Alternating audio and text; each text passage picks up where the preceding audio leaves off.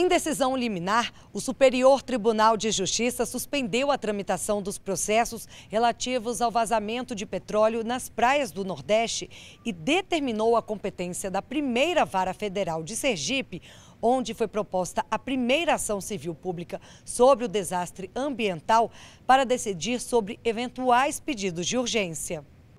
Com a decisão do ministro Francisco Falcão, as ações que foram iniciadas pelo Ministério Público Federal na Justiça Federal de Alagoas, Pernambuco e da Bahia, relacionadas às manchas de óleo, deverão ser remetidas à Vara Federal de Sergipe, que poderá rever eventuais decisões liminares proferidas pelos juízos originários. Segundo a União, Todas as ações propostas pelo Ministério Público Federal pedem praticamente a mesma coisa: que o governo federal e o IBAMA tomem medidas para conter e recolher o material poluente com foco na proteção de áreas sensíveis. Para evitar decisões judiciais conflitantes, a União pediu a reunião das ações atuais e futuras na Seção Judiciária Federal de Sergipe. As primeiras manchas de óleo apareceram nas praias nordestinas no dia 2 de setembro. Desde então, órgãos do governo vêm realizando diversas ações para amenizar o dano.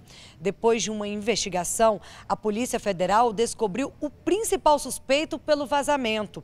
Seria um navio grego que passou próximo ao litoral brasileiro carregado de óleo venezuelano.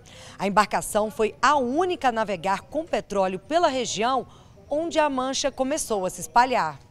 Ao aceitar o pedido da União, o ministro Francisco Falcão afirmou que, neste momento, é elevado o risco de serem praticados atos e medidas divergentes, tanto no âmbito judicial quanto em nível administrativo, gerando efeitos que podem até mesmo impedir a presença da União e do IBAMA em audiências, o que retardaria a adoção de procedimentos preventivos e reativos.